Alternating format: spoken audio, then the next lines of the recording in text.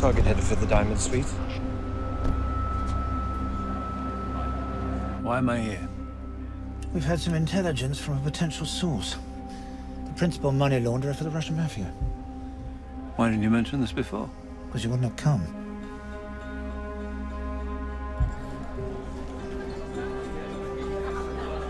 Champagne? I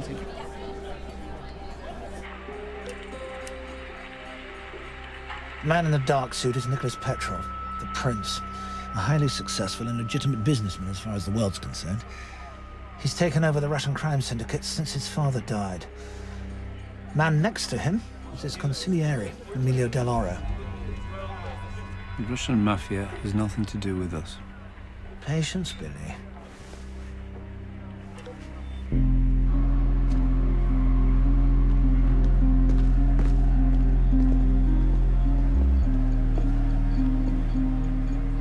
Bushmaster's here. Thanks, Ollie. Our source wants to prove his worth. He's told us that the prince is in London to meet a prominent British politician. Who the hell's Bushmaster? A bushmaster is a breed of snake, Billy. Who is that? Our former boss. Current MP for Islington North and head of the Parliamentary Subcommittee for Trade and Finance, Aubrey Longrigg. I can see who it is. Aubrey.